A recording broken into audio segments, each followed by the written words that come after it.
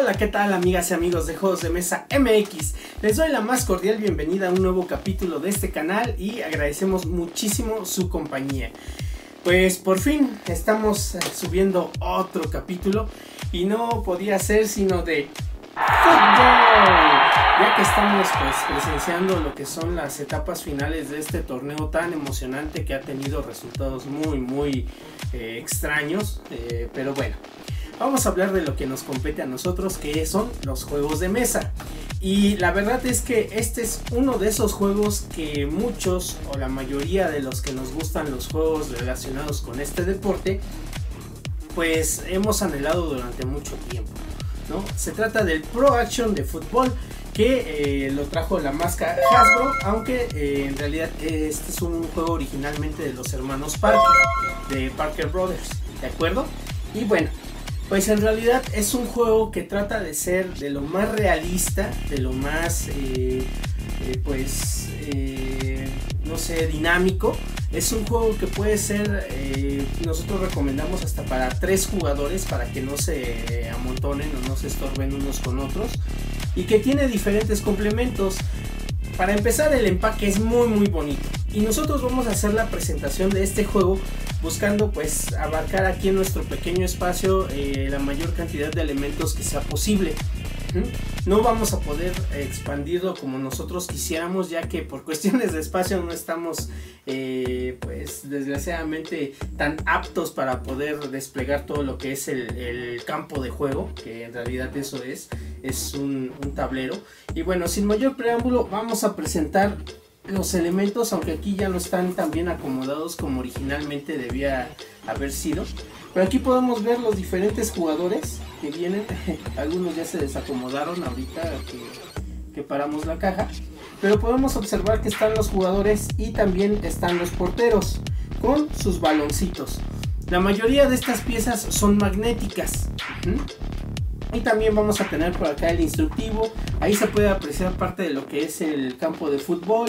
Aquí las bases de los porteros, las porterías, etcétera.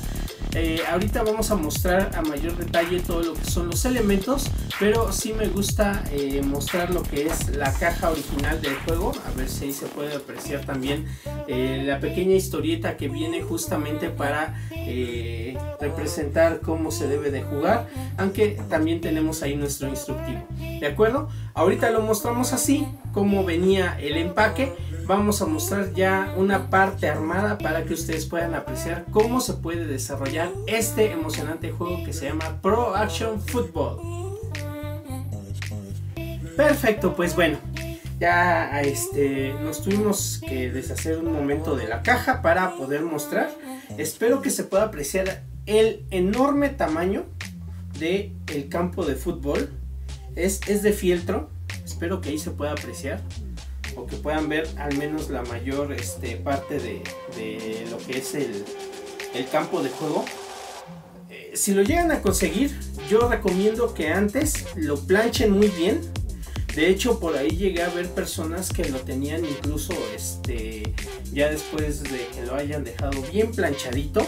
Este, lo ponían sobre una tabla y así lo tenían como una mesa de futbolito y la verdad les quedaba perfecto. Además de que les ayudaba a que el campo de juego estuviera completamente liso y que eh, el juego se pudiera desarrollar de la mejor manera. Bueno, pues básicamente el juego consiste en eh, anotar goles, más goles que el otro jugador. Eh, nosotros recomendamos que por ejemplo pongan un tiempo no sé, jueguen dos tiempos de 5 minutos o de 10 minutos, ¿no? Que no sea muy largo. Y ahorita voy a aprovechar para mostrarles los elementos, los elementos, ¿ok? Vamos a sacar todo aquí. Y les decía, este es uno de los juegos más completos, más bonitos. Eh, a mí me gusta muchísimo el Pro Action. Y Aquí les vamos a mostrar, a mostrar una mezcolanza de elementos porque recuerdo que hubo hasta tres versiones y se podía identificar eh, correctamente con la forma de la base. En la base, si se dan cuenta, es diferente esta a la de acá.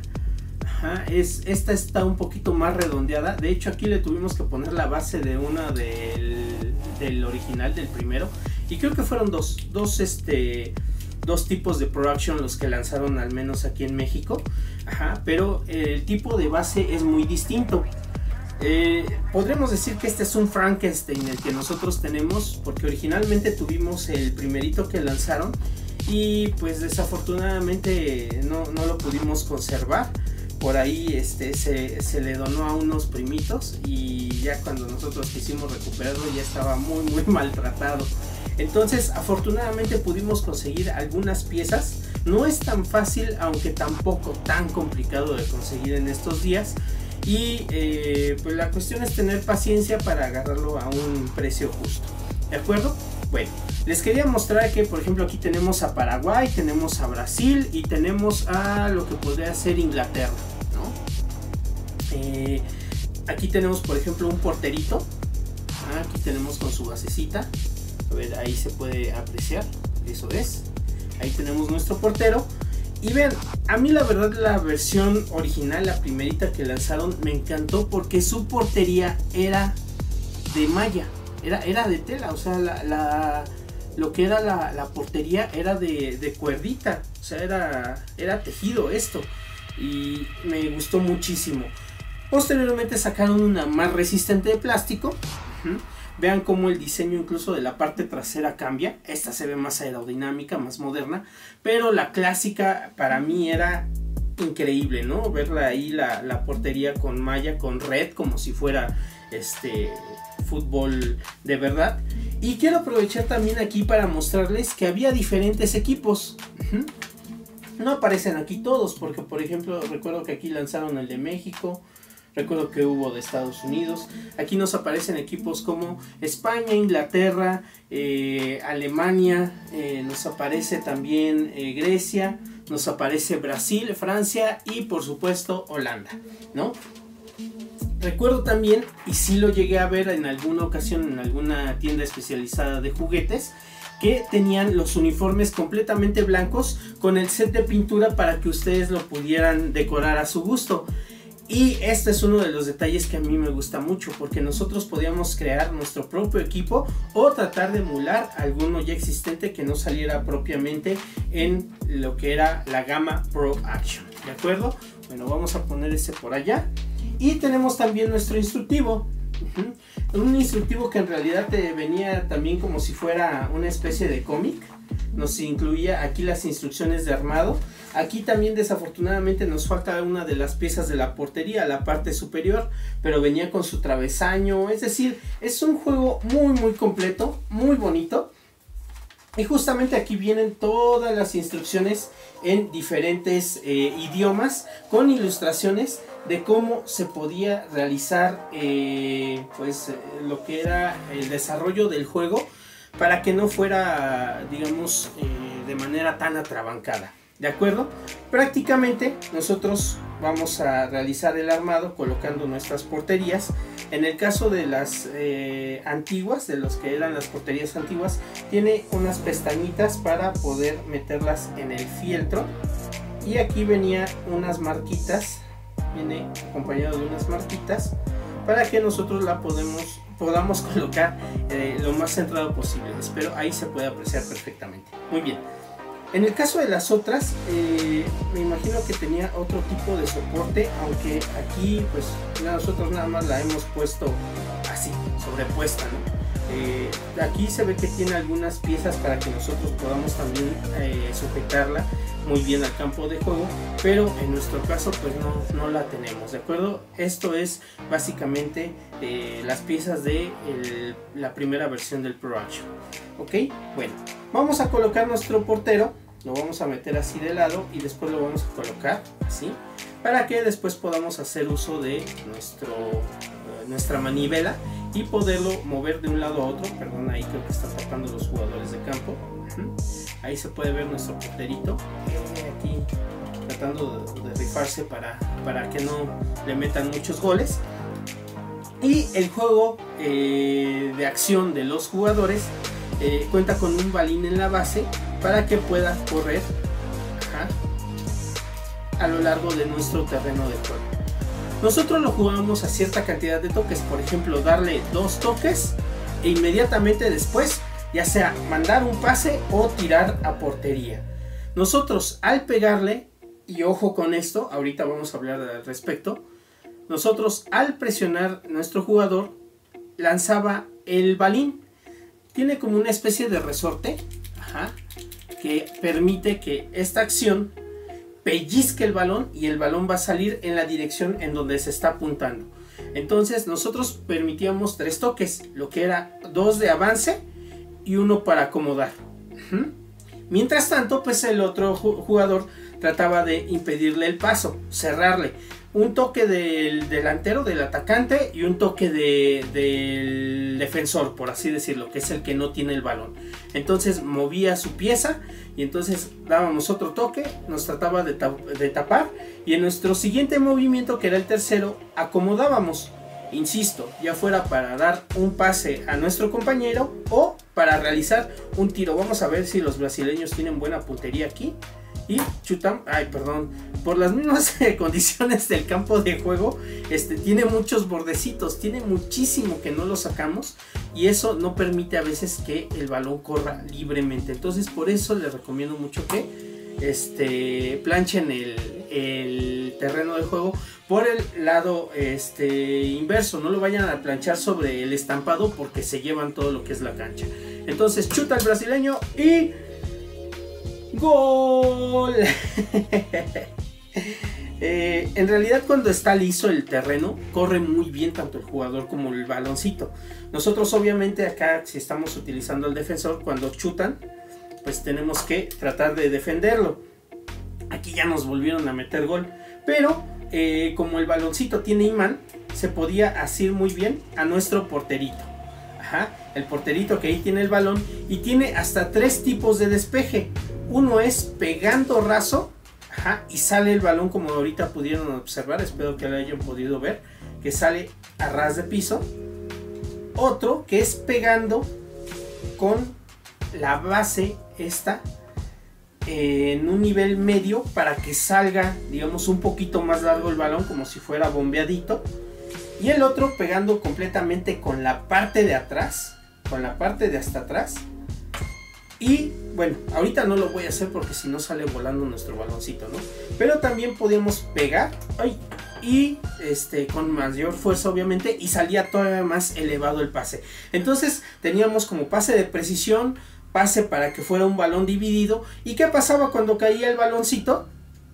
Después de que despejaba el portero, pues se le daba primero la oportunidad al eh, equipo que eh, había realizado el despeje. Entonces podía realizar el movimiento primero y si se quedaba con el balón, como fue en este caso, continuaba con su ataque. En caso de que, por ejemplo, está el baloncito y se pasa el jugador, entonces le dábamos la oportunidad al otro jugador de que realizara el toque y si tampoco lo agarra, otra vez tiene la oportunidad y ahora sí, se quedó con su baloncito. Nuevamente ahí, tres toques, recuerden que eh, tratamos de irle estorbando. Ay, bueno, ya se nos fue uno de los baloncitos que afortunadamente regresó a nosotros. Pero eh, tratábamos de hacerlo de esa manera para que este, no fuera tan em, pues eh, accidentado el juego. Porque a veces cuando uno movía el, su figurita, y por lo regular incluso así salía en el comercial, que cuando apenas uno iba a tocar, ya el otro le estaba aventando el muñequito y ¡zas! le pegaba. Aquí por supuesto que hay faltas, hay penaltis, hay fueras de lugar, etc. Nosotros en este caso, y ahí sí somos más fieles a lo que es el instructivo, cuando un jugador este, quiere robarnos el balón, porque eso es posible, debemos de hacer contacto primero con el balón. Si por ejemplo nosotros lanzamos, le queremos robar el balón al paraguayo y con el inglés le aventamos el muñequito. Si nosotros antes de tocar el balón le pegamos al jugador, a la piececita del jugador que tiene el balón o a otro que no lo tenga. Por ejemplo, supongamos que estos son de nuestro mismo equipo y le queremos robar el balón a este, pero en vez de atinarle al jugador que lleva el balón, le pegamos a su compañero. Ahí se marca una falta e incluso nosotros ya también le metíamos lo de tarjeta amarilla, por ejemplo, si era muy descarada la falta, como en este caso que no está jugando el balón, amonestábamos y llevábamos nuestras anotaciones, ¿no? Y ahí sacábamos nuestras tarjetitas y le hacíamos este ahí mucha fiesta para que fuera lo más realista posible. Pero bueno, en el momento en el que a nuestro jugador le están pegando, nosotros lo que hacíamos era que le dábamos posibilidad de 5 toques.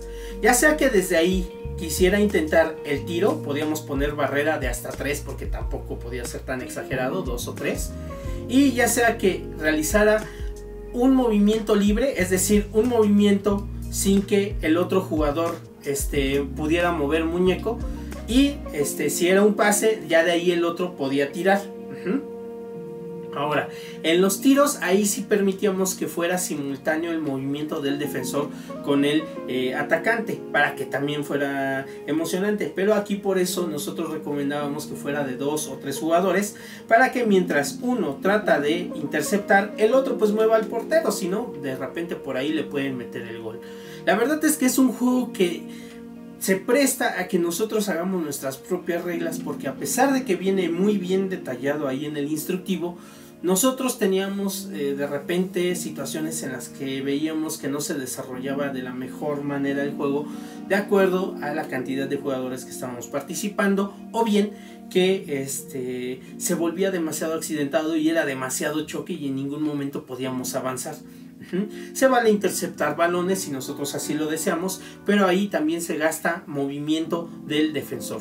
Es decir, si nosotros le queremos mandar un pase a nuestro compañero y el defensor decide ahí utilizar su toque, ya sea que lo logre o no, entonces ahí tenía ventaja el atacante porque el otro ya había desperdiciado ahí su movimiento, ¿de acuerdo? Y en vez de poderle cerrar al momento, pues ya había desperdiciado en intentar interceptar. Si en ese momento el jugador va a disparar, también puede aprovechar su segundo movimiento, ¿vale? Nosotros dábamos tres toques cada vez que un jugador recibía el balón, ya sea por medio de pase, porque la paró el portero, porque la interceptó el defensa, porque de un rebote, de una intercepción de defensa, le cayó nuevamente al jugador que está atacando, etc. Es demasiado interpretativo este juego, pero insisto, puede ser muy divertido si todos desde un principio ponen las reglas claras. ¿De acuerdo? La primera que yo pondría es que el jugador que empieza a tocar tiene tres toques del muñequito, recuerden son uno, dos y el tercero sería acomodar, por ejemplo, o tirar como guste si le quedó directo puede intentar este, chutar. Eh, la otra regla es que nosotros podemos defender ya sea interceptando, robando o bloqueando con la misma cantidad de toques. Siguiendo al delantero, tratando de interceptar un pase, tratando de bloquear un tiro, pero siempre respetando la regla de los tres toques. Obviamente cuando hay un cambio de jugador, por ejemplo, que el jugador le pasa a su compañero, ahí también el defensor tiene sus tres toques, sus tres movimientos. Todo esto va a hacer que el juego sea más dinámico, sea lo más realista posible. Tenemos saque de banda, que bueno, aquí obviamente no podemos sacarlo con las manos. Tiros de esquina, en donde también le dábamos un toque gratis al jugador que está atacando. Ajá un toque gratis sin que lo puedan este, estorbar tanto los otros. Y aquí pues sí podían colocar diferentes jugadores en el área, tanto defensores como ofensores, tratando de que tampoco se, sature para que sea divertido, para que no sea este, tan engorroso el juego. Pero este, les dábamos chance de que, por ejemplo, en lo que era el saque de banda, este, lo que es eh, el cobro de una falta, tiros de esquina, etcétera, pudiera ser de esta manera para que eh, hubiera oportunidad de eh, realizar movimientos. y de que pudieran caer goles, que finalmente es eh, el objetivo de este juego, que caigan goles, que sea emocionante, que ambos tengan las mismas oportunidades y que sea lo más justo posible. Obviamente con esto también muy muy divertido. nosotros poníamos límite de tiempo o también decíamos a los 10 goles, ¿no? Ok, entonces ya podíamos ahí nosotros ir contabilizando También este, se puede ir a serie de penalties o a tiempo extra si ustedes lo desean. Es decir, es un juego muy apegado a la realidad que se presta demasiado a los movimientos que nosotros vayamos haciendo a lo largo del campo. Podemos hacer nuestras eh, formaciones como mejor nos convenga. Línea de 5, 3 y 2 o la 4, 3, 3 que es de las más este, espectaculares o 3, 5, 3, no es cierto, 3, 5, 2 etcétera, como ustedes gusten, ¿vale? Entonces, eh, este es el Pro Action. Insisto, no lo podemos mostrar completo desafortunadamente porque es demasiado amplio, demasiado espacioso. Y aparte nosotros no tuvimos oportunidad de este, arreglar nuestro tablero para que pudiera correr de la mejor manera tanto el balón como nuestros muñequitos. ¿De acuerdo?